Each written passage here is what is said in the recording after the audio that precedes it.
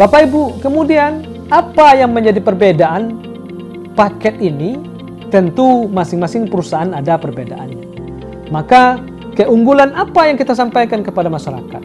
Yang pertama, bahwa kita dari perusahaan bagi jemaah yang sudah mendaftar, kita menyediakan manasik di setiap pekannya, rutin di setiap pekannya, insya Allah. Sehingga dengan rutinnya manasik ini, kita berharap jemaah betul-betul nanti mempunyai pengetahuan, ilmu, pemahaman yang baik ketika mereka berangkat menunaikan ibadah umrah.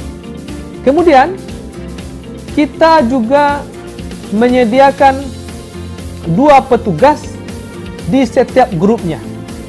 Ada mutawif ustadz yang membimbing ibadah jemaah ada tour leader yang memimpin perjalanan jemaah memastikan akomodasi dan pelayanan diberikan kepada jemaah secara baik.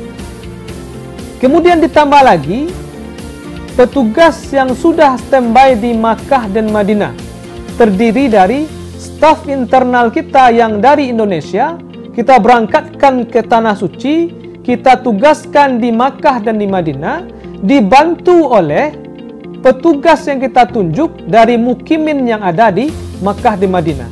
Jadi kolaborasi petugas-petugas inilah yang nanti yang memastikan pelayanan dan keamanan serta kenyamanan pelaksanaan ibadah umroh jamaah.